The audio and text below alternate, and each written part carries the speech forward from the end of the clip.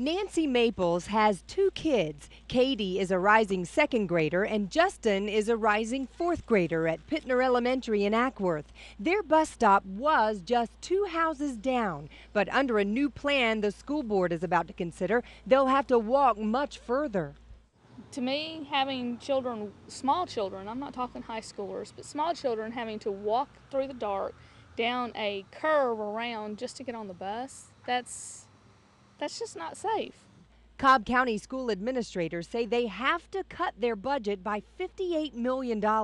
One million of that, they say, could come from cutting the number of bus stops from 50,000 down to 39,000. That's 11,000 fewer stops buses would make in Cobb County, saving fuel and increasing efficiency. In some cases, though, it would mean neighborhoods that now have 10 bus stops would now have just two, with some kids walking half a mile to their bus stop.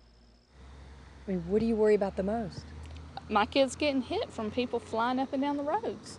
And, you know, unfortunately, it's not even the teenagers who are going fast, it's the adults Late for work. because they're late for work. Nancy says she's fortunate. She doesn't work, so she'll be able to walk her children to their new bus stop. But she worries about other kids whose parents work and who'll have to walk alone to their new bus stops in the dark. Couldn't Cobb County find somewhere else to cut that million dollars rather than taking away bus stops?